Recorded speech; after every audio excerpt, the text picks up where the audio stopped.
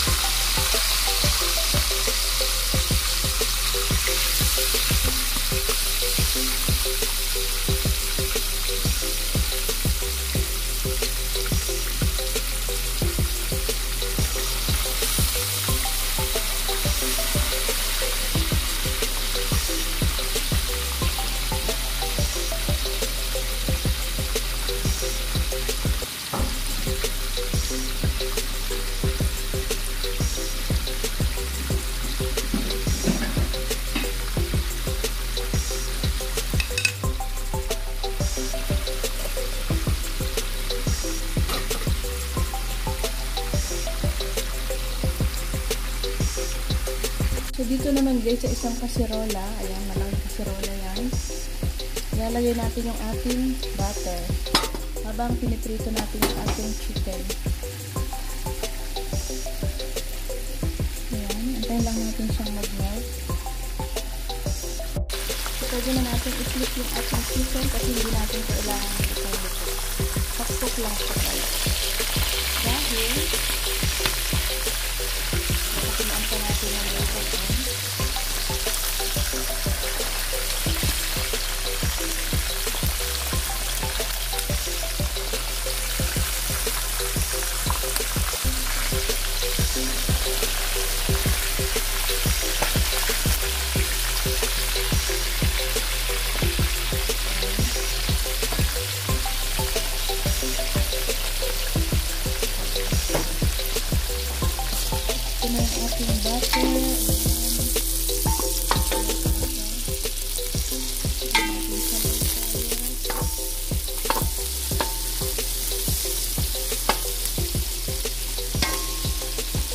Pwede na natin ilagay yung ating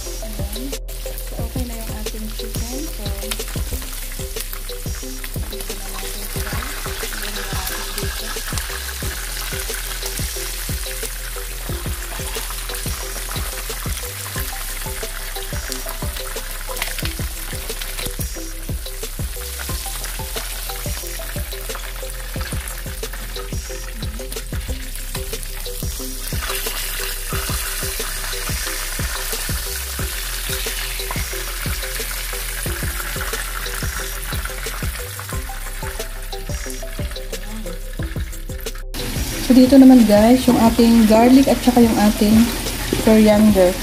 So, ayan. Dahil frozen yung ating coriander, dahil mga ano natin yan before. Antayin lang natin siyang mag-melt. And then ilalagay na natin yung ating saluyot leaves or lukiye. Tawag nila dito. So, ayan guys. So, ready lang ilagay yung ating saluyot leaves.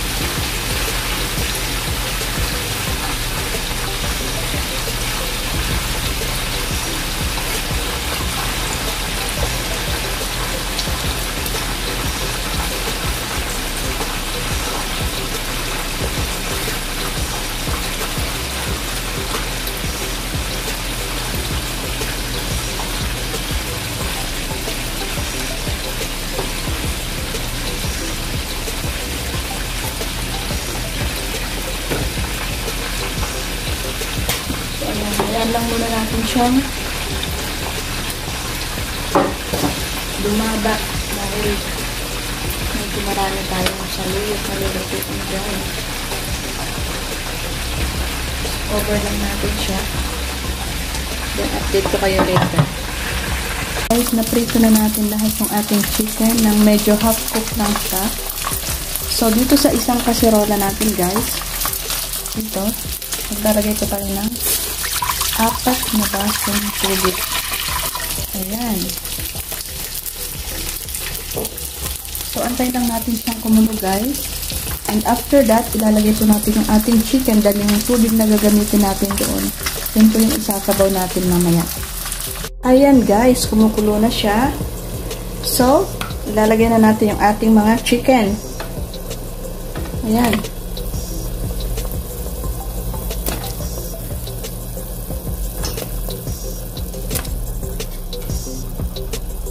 Lalagay natin ang. So, ayan, nalagay na natin lahat. So, pakukulan lang natin siya guys para makuha natin yung lasa ng chicken at yung sabaw ilalagay natin dito sa ating gnocchi. Ito ilalagay natin dyan mamaya. Ayan. Habang siya ay lumalambot na rin. Update ko po kayo. Check natin guys yung ating chicken na pinakuluan. Wow, ayan na siya. So ngayon guys, isi-set aside na natin yung chicken para makuha natin yung sabaw and then yung kanyang laman naman yung itatapin natin na naman. So, ilagay natin dito guys yung ating pinalambot na chicken.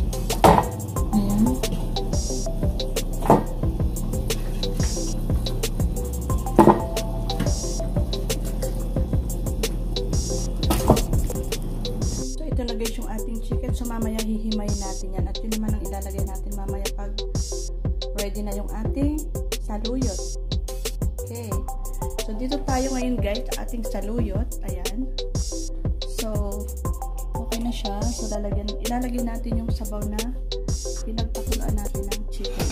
Ito siya guys. So, at andito na yung lasa ng ating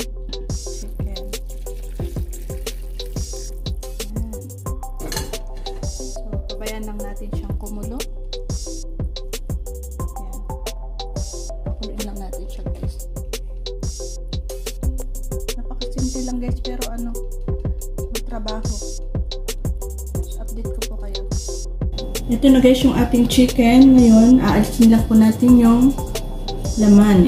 Alisin natin yung buto. Laman lang ang ating kailangan dito. Pero medyo mainit pa guys.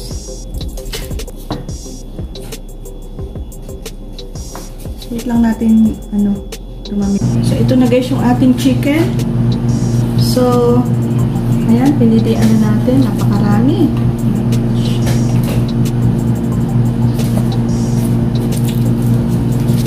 Kunin lang natin yung laman.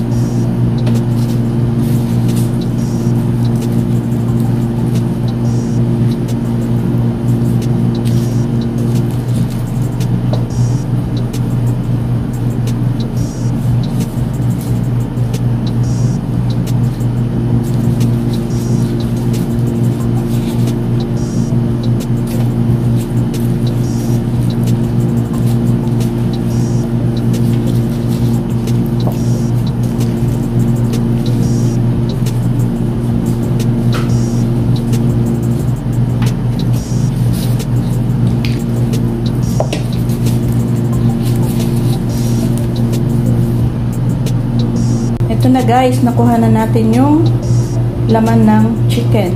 So mamaya, ito po yung ilalagay natin sa ibabaw ng ating saluyot.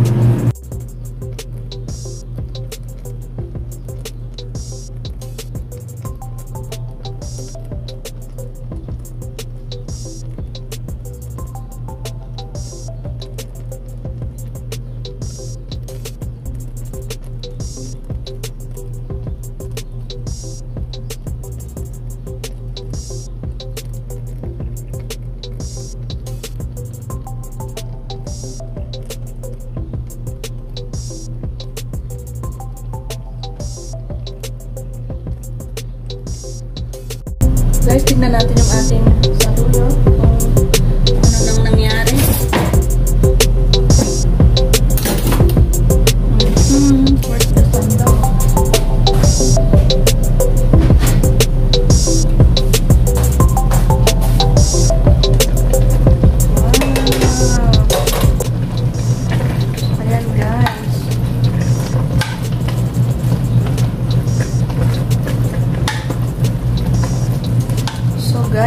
ilalagay na natin yung ating chicken. Timplahan muna natin ng salt.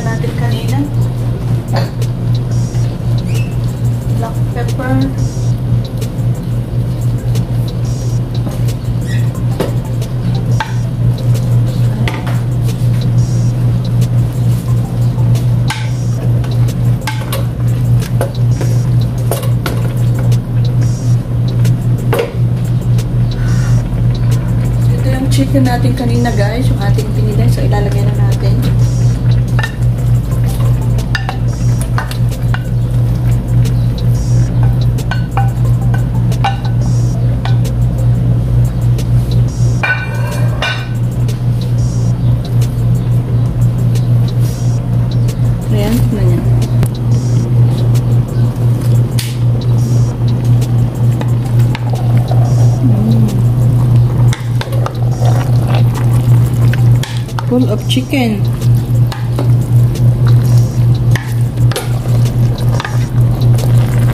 So, ayan lang guys. Isasali na lang natin sa kanyang lalagyan. So, ayan. Nakita niyo guys. Mm. Dito natin ilalagay. Dalawa yung paglalagyan natin guys dahil hindi sila magkakasya sa isa lang. Ayan. Guys, ito na yung ating menu for today. Yung ating saluyot na may chicken. Ayan. Dalawang pyrex yan guys. Ayan.